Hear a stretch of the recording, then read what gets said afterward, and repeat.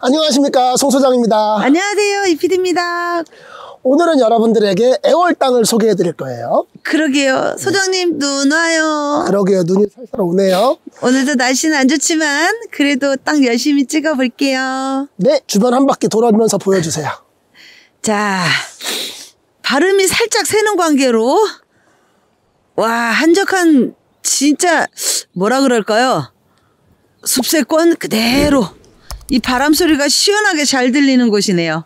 네 애월읍 신엄리가 되겠어요. 바닷가 쪽이 아니고 약간 위쪽으로 중산간 쪽에 있는 토지가 되겠는데 바다가 좀 보여요. 그러게요. 신음하면 좀 바다라고 생각하실 텐데 살짝 올라와 있고요. 주위에 과수원들이 좀 있어요. 그렇네요. 지금 네. 우리가 소개해 드릴 토지는 여기거든요. 음, 여기 귤나무 있는데요. 네 그렇습니다. 뭐 맞은편에 건축이 되어 있으니까 건축하시는 데는 별 문제는 없으실 것 같고. 네, 이것도 건축이 가능할 것으로 예상이 되는 그런 토지가 되겠습니다. 여기 절망초진 곳 오른쪽부터예요. 아, 여기가 경계예요. 그렇죠. 그러면 요 밑에는 아니네. 여기서부터네. 그죠? 그렇죠.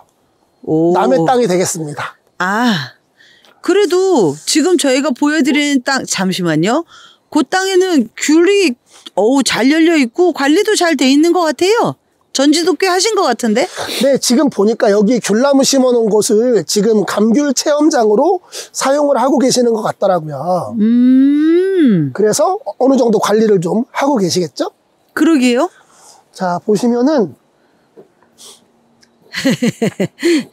감귤 체험장. 네, 감귤 체험장 이쪽으로 들어가서 감귤 체험할 수 있게 그렇게 해놓으신 모습입니다. 한번 가볼까요? 여기 돌담 여, 경계돼 있는 데까지인 것 같아요. 그죠? 네, 여기 이렇게 돌담 쳐져 있는 곳 거기가 경계라고 보시면 될 것 같아요. 이게 오 그래도 땅 모양이 생각보다 거의 네모 반드 비슷하게 돼 있는데 바다 조망에 나오는구나. 저기 보이세요? 좀 멀리 보이긴 하지만 여기에서도 보이고요. 한 2층으로 지금 훨씬 잘 보이겠어요. 훨씬 잘 보일 것 같아요. 근데 여기 생각보다 넓구나. 몇 평이나 돼요? 면적은 제가 조금 이따가 설명드릴게요. 아, 그래요? 요, 요 돌 가지고 나중에 활용하셔도 되겠어요. 이거 다 돈인데. 그죠, 소장님? 네, 저는 뭐 설마 묘일까 이런 생각을 했는데 묘는 아니고 그냥 돌을 쌓아 놓으신 거네요. 왜냐하면 제주도 원체 돌이 많아서 밭에 있는 돌들 그냥 쌓아 놓으신 것 같아요. 네. 아예 감귤 체험들을 좀 많이 하셔가지고 이 귤을 다 따가셨으면 좋겠는데 아직은 조금 더 있어야 될 것 같아요. 네, 귤이 조금씩 떨어지고 있습니다. 근데 제주도에서 사실은 귤나무만큼 조경하기 좋은 나무도 없는 것 같아요. 그쵸? 그 어떤 유튜브 보니까 어, 서울 사람이 제주 친구가 있어요. 음. 그러니까 제주 친구한테 물어본다 그러더라고요. 너네 집에 귤나무 있어? 우리 집에는 없는데 소장님도 없잖아요. 아니 뭐 저희가 당연히 아파트니까 없죠. 근데 제주도에 살면 무조건 내 집에 귤나무가 있는 걸로 생각을 하시는 분들이 꽤 계시더라고요. 그런 분들은 이 제주도의 정보가 정말 없거나 어 이제야 관심을 갖거나 그런 분들인가 봐요. 네, 어쨌든 요 귤나무들 다 몰아서 내 집 내 집 앞마당에 내 집 앞마당에 놓을 수 있는 그런 과실 나무들이 많이 되어 있는 그런 토지가 되겠습니다.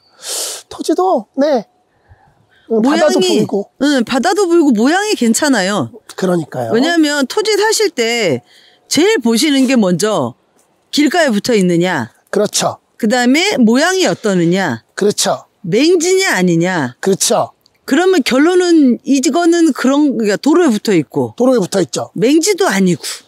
도로에 붙어 있는 게 맹지가 아닌 거죠. 아니 그니까. 네, 그리고 어찌됐건 모양도 괜찮고 그렇죠, 주소 이전은 해야 되고 그렇죠, 전이기 때문에 그렇죠. 음, 그리고 건축도 가능할 걸로 보이고 그렇죠. 맞은편에 건축이 되어 있기 때문에 이 땅도 뭐 크게 지장이 없는 한은 건축이 가능할 걸로 예상이 됩니다. 제가 봤을 때는 전원주택 한 세 채 지으면 딱 좋을 만한 땅 같은데 세 채는 좀 좁을 것 같고 한 두 채 정도 그래요? 지으시면 이렇게 바다보게 지으시면 딱 좋을 것 같아요. 하기사 좀 넉넉하게 지으시면 너무 좁게 말고 네, 그렇습니다. 음, 그런 것도 괜찮으시겠네. 자, 그러면은 매물 정리 한번 해볼게요. 네. 제주시 애월읍 신업리가 되겠고요. 토지 면적은 1091제곱미터 330평입니다. 오, 세채 가능하겠네요. 지목은 과수원입니다. 주소 이전하셔야 매입하실 수 있고요.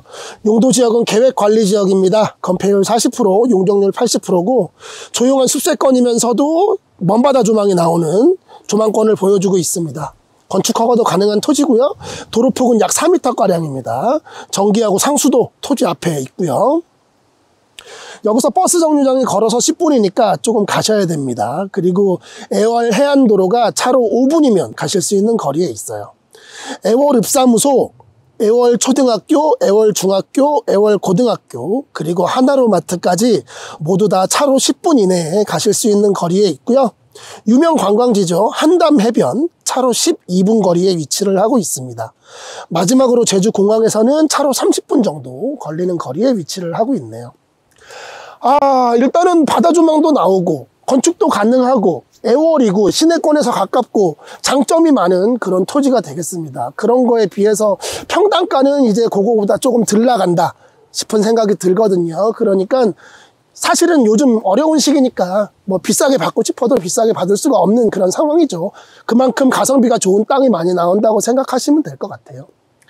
더 자세한 궁금증이나 문의사항이 있으시면 저 송 소장에게 연락을 주시면 저 송 소장이 아주 성심성의껏 친절하게 여러분들에게 답변을 해드리도록 하겠습니다. 지금까지 제주시 애월읍 신엄리에 위치한 감귤나무가 많이 심어져 있고 바다가 잘 보이는 그런 토지 매물 소개해드렸습니다. 감사합니다.